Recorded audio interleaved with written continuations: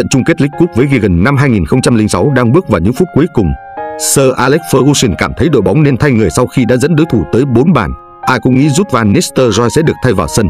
Thế những chiến lược gia người Scotland chưa bao giờ là một mẫu huấn luyện viên dễ đoán. Nem Anja Vidic cùng với Patrice Evra, hai tân binh mới đến sẽ là những người được lựa chọn. Nhưng hành động của Sir Alex đã khiến ngọn núi lửa Hà Lan bùng nổ. Rút đã nổi khùng lên và văng ra một câu rất tục giữa ban huấn luyện. Nhiều cầu thủ lúc đó nghe thấy cũng phải giận tái mặt. Ngài máy sấy tóc tin rằng sau những nỗ lực và khát khao thể hiện mình trên sân tập, Vidic xứng đáng vào sân dù trong 15 trận ra sân trước đó, anh chơi không hề ấn tượng. Sir Alex luôn nhìn thấy trong chàng tân binh người Serbia một ngọn lửa chiến đấu cực kỳ dữ dội. Đó mới là phẩm chất của quỷ đỏ mà ông mong chờ. Thế nên, ông quyết định trao cơ hội để khích lệ Vidic và Phú Phàng với công thần đã ghi 150 bàn thắng cho Man United.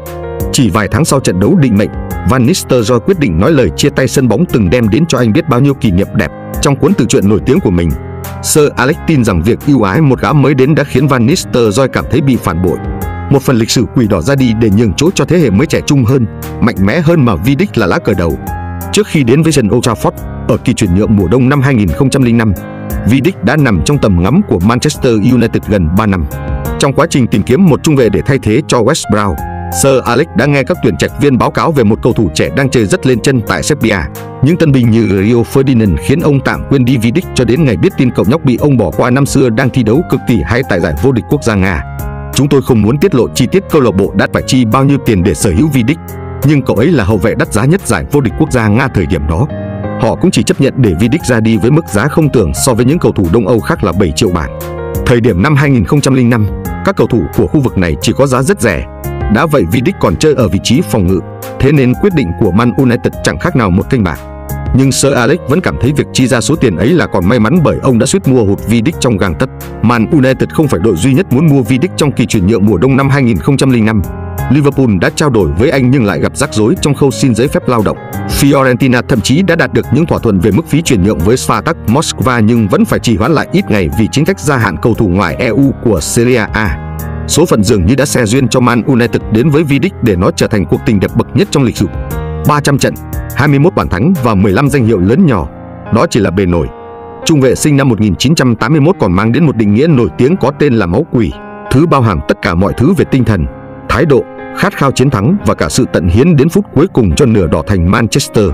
Khởi đầu của Vidic là không hề dễ dàng, tới sân Old Trafford ở tuổi 25 với thể hình gầy. Cựu hậu vệ Spartak Moscow được chào đón tới bóng đá Anh theo cách cực kỳ đáng sợ. Anh bị xô đẩy dễ dàng bởi các cầu thủ Anh và bị vượt qua không mấy khó khăn bởi các trung phong đầy tốc độ, thậm chí những cây thúc củi trò hay dẫm vào chân là điều không thiếu. Trọng tài ở Anh thì cắt còi ít hơn nhiều so với các giải đấu khác để tăng tính hấp dẫn cho mỗi trận đấu. Trong trận đấu thứ ba cho MU, Vidic có một ngày thi đấu thảm hại khi để cho David Bentley lập hat-trick và Blackburn Rovers thắng 4-3. Không ít những cầu thủ sợ hãi bỏ chạy khỏi Premier League sau những lần ăn hành. Wayne Rooney tiết lộ rằng Gerard Pique chuyển tới Barca sau khi bị cầu thủ của Bolton Wanderers làm cho tơi tả. Nhưng Vidic thì không bao giờ để cho bản thân bị bắt nạt thêm lần nào nữa. Vĩ nhân không sinh ra đã vĩ đại ngay từ đầu, mà họ vĩ đại khi đang trưởng thành.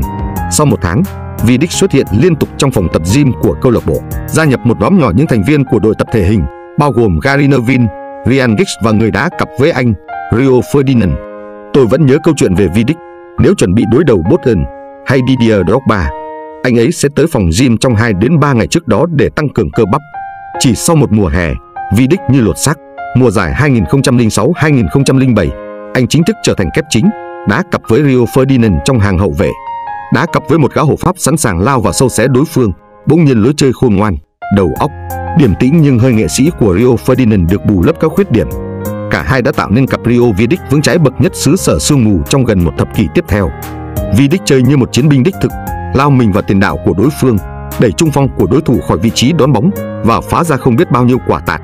Theo thống kê, trong 211 trận mà Nemanja Vidic xuất hiện ở Premier League, MU giữ sạch lưới tới 95 trận, đạt tỷ lệ 45,02%. Ở Premier League, chỉ có Tony Adams sở hữu thành tích tốt hơn với tỷ lệ 45,1%. Ở mùa giải 2018-2019 là thời điểm Van Dijk chính thức được xem là mẫu hậu vệ xuất sắc bậc nhất thế giới. Thậm chí sự hoàn hảo của cầu thủ người Hà Lan còn khiến nhiều người đặt ra câu hỏi phải chăng số 4 của Liverpool đã giỏi hơn những huyền thoại của Premier League như Vidic hay Terry. Đáp lại cho sự ngông cuồng ấy, cổ động viên Manchester United chỉ gửi cho họ một bức ảnh về mùa giải xuất sắc nhất của Vidic. 2008-2009 chính là mùa giải mà Vidic trở thành nhân tố chính của bức tường thép tạo ra siêu kỷ lục 1.311 phút giữ sạch lưới tại Premier League.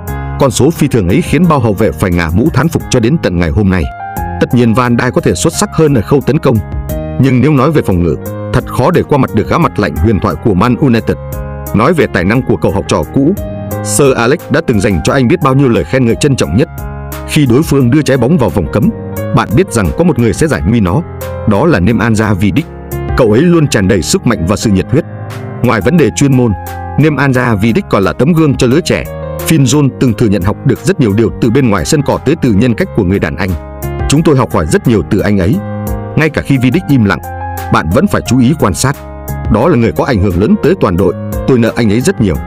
Không phải ngẫu nhiên huấn luyện của nổi tiếng ký tính như Sir Alex Ferguson đã quyết định trao tấm băng đội trưởng MU cho Nemanja Vidic để thay thế cho Gary Neville chứ không phải là Rio Ferdinand, Ryan Giggs hay bất kỳ cầu thủ nào khác.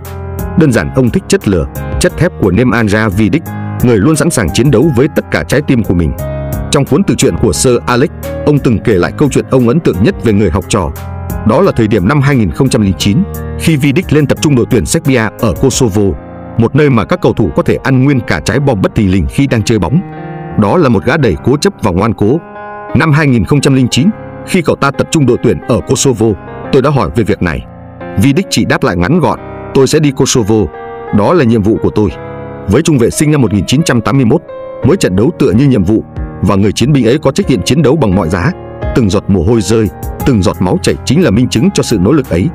Năm 2011, sau khi tra trước băng đội trưởng cho Vidic, Sir Alex khẳng định sự dũng cảm của học trò là nguyên nhân chính cho quyết định của ông. Đó quả thực là người chiến binh, một người bảo vệ đáng mến. Bạn đừng hòng ngạch tên Vidic trừ khi anh ta muốn nghỉ ngơi. Những lần chàng thủ quân đổ máu ở trên sân thì rất nhiều, khó mà kể hết được vì anh sẵn sàng dùng đầu để cản bóng, sẵn sàng phi thân không ngại hiểm nguy để ngăn cho đối phương không đi bàn. Trận đấu cuối cùng trong màu áo quỷ đỏ, trận đấu cuối cùng của mùa giải. Người ta không nhớ rõ lắm về kết quả trận đấu đấy như thế nào không ai nhớ Joan Mata đã gỡ hòa trong hiệp 2 ra sao. Nhưng tất cả vẹn nguyên hình ảnh nêm Anja Vidic đổ máu ở trong hiệp 1 trong nỗ lực ngăn cản Ricky làm bất bên phía sau thăm tường ghi bàn. Cú củi trỏ của tiền đạo người Anh dù không cố tình, nhưng nó cũng khiến khuôn mặt của anh be bét máu, máu chảy không ngừng từ chiếc mũi bị tổn thương do va chạm mạnh. Cho đến ngày cuối cùng để nói lời chào các khán giả trên khán đài sân Old Trafford, những người đã không ngừng hát vang tên anh gần 10 năm qua. Vidic vẫn là Vidic, vẫn là tấm băng đội trưởng, vẫn là gương mặt dính máu, trong bài phát biểu anh đã cố gắng làm giảm tầm ảnh hưởng của mình với lời khẳng định sự ra đi của anh cũng giống như bao cái tên khác trước đó. Tuy nhiên trung vệ người Serbia ở một tầm cao hơn. Với những phẩm chất của mình, anh góp phần định nghĩa Man United về một con quỷ luôn sẵn sàng hy sinh thân mình cho màu áo đỏ. Trong sự nghiệp của Nemanja Vidic không thực sự hoàn hảo như cầu thủ này thừa nhận. Chấn thương đã lấy đi của tôi tất cả mọi thứ. Với người chiến binh luôn tràn đầy nhiệt huyết chiến đấu ấy, việc nằm trong bệnh viện hay giam mình trên băng ghế dự bị là điều không thể chấp nhận được. Cái cách Vidic kết thúc sự nghiệp thật đáng khâm phục. Anh không chọn nơi nào để dưỡng giả kiếm chút đỉnh trước khi giải nghệ. Thay vào đó, trung vệ người Serbia quyết định dừng lại vì cảm thấy mình không còn hữu ích. Đó là sự ra đi trong thế hiên ngang, ngẩng cao đầu đầy kiêu hãnh. Thực ra mà nói, trước khi ký hợp đồng với Inter, Vidic đã nhận vô số những lời đề nghị của các câu lạc bộ Premier League, song anh đều từ chối bởi trong bài phát biểu chia tay Man United, huyền thoại này thề sẽ không bao giờ đối đầu với quỷ đà. Thật may mắn vì trở thành một phần lịch sử của đội bóng. Đây sẽ là câu lạc bộ duy nhất tôi muốn khoác áo tại Vương quốc Anh. Điều đó cho thấy anh yêu Man United đến nhường nào. Và dù có đi đến câu lạc bộ nào đi chăng nữa thì dòng màu chảy trong anh vẫn sẽ mãi là dòng máu quỷ của nửa đỏ thành Manchester.